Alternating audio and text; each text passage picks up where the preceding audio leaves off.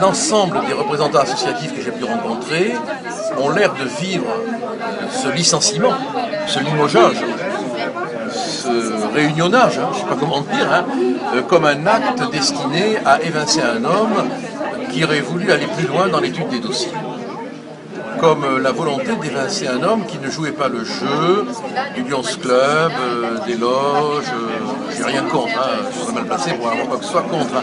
mais bon, c'est ce qui est dit, hein, du petit monde réunionnais qui s'entend, et donc ce réunionnage aurait pour effet d'évincer un homme qui aurait eu la volonté d'aller plus loin. Bon, je suis un peu tenté de le croire, je suis un peu tenté de le croire, mais je n'ai pas tous les éléments.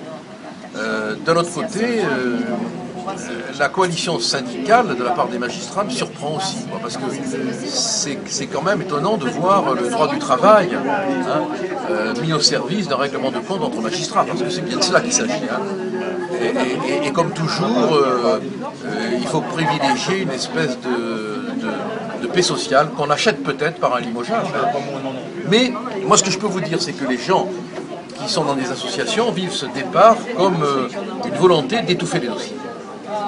Je ne peux pas vous dire si c'est vrai ou si c'est faux. Je peux vous dire simplement ce que j'ai entendu.